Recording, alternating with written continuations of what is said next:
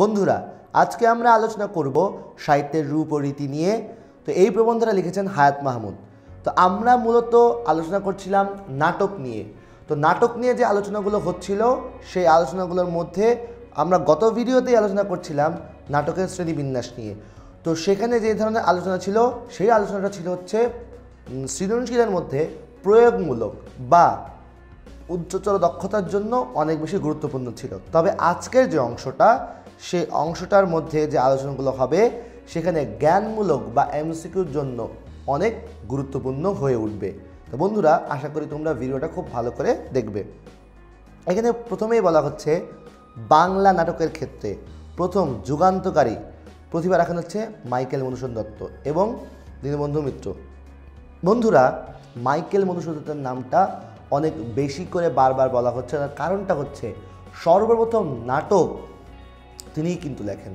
এই কথাটা তোমাদের একটু মনে রাখতে হবে, সর্বপ্রথম নাটক। সর্বপ্রথম নাটক হচ্ছে শর্মিষ্ঠা। এই শর্মিষ্ঠা নাটকটা কিন্তু মাইকেল মধুসূদন দত্তই সবার আগে লেখেন। এটা তোমাদের একটু মনে রাখতে হবে। তারপর দেখো বন্ধুরা, এখানে যে আলোচনা করা আছে দীনবন্ধু মিত্র, তিনিও কিন্তু নাটকে একটা অসাধারণ অসাধারণ তার যে সাহিত্যের অবদান, সে তিনি রেখে যান। আর তার অন্যতম নিদর্শন হচ্ছে নীল দর্পণ নাটকটা। তো এই দুটো কথা তোমাদের একটু ভালো করে মনে রাখতে হবে। তারপর উনি কী বলছেন? মাইকেলের লেখনী মাইকেল বলতে মাইকেল মধুসূদন দত্ত। মাইকেলের লেখনীতেই সর্বপ্রথম ট্র্যাজেডি, কমেডি, প্রহসন। অর্থাৎ বাংলা নাটকের যে প্রথম তিনটা, অর্থাৎ এই প্রথম তিনটা বলতে প্রধান যে তিনটা অঙ্গ, সেই প্রধান তিনটা অঙ্গতেই মাইকেল মধুসূদন দত্ত সর্বপ্রথম তিনি অবদান রাখেন। ট্র্যাজেডি, করুণ রস, কমেডি, মিলনাত্মক প্রহসন, ব্যঙ্গাত্মক এই তিনটা পার্টেই।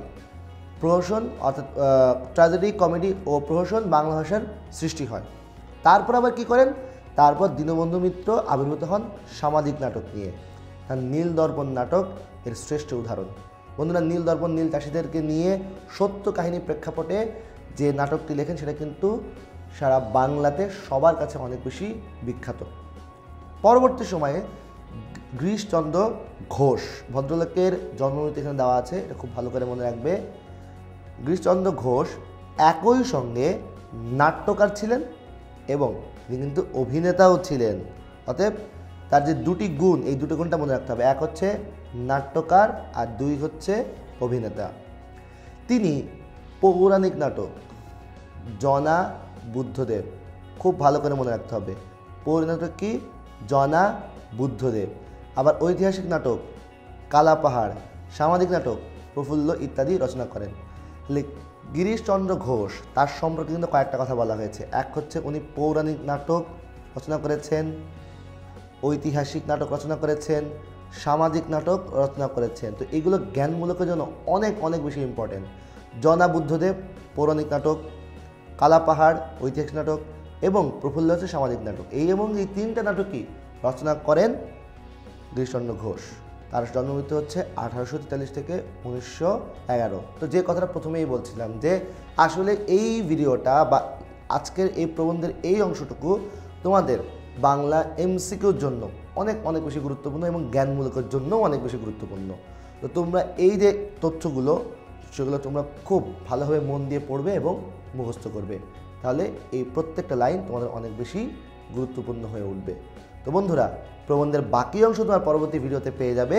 আজকে এ পর্যন্তই। যদি ভিডিওটি ভালো লেগে থাকে লাইক করবে এবং বন্ধুদের কাছে শেয়ার করতে কিন্তু একদমই ভুলবে না।